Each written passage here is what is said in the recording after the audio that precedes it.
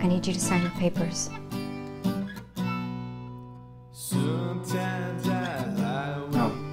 Sometimes I scream. Sometimes I lie No. awake. Kick around my No.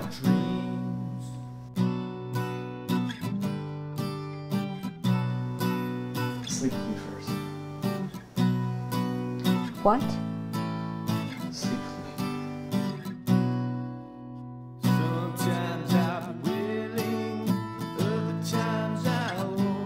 I end up in this position again? Sometimes I can change.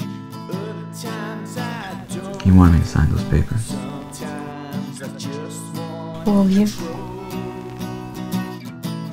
Sometimes I just want control. Do I have a choice?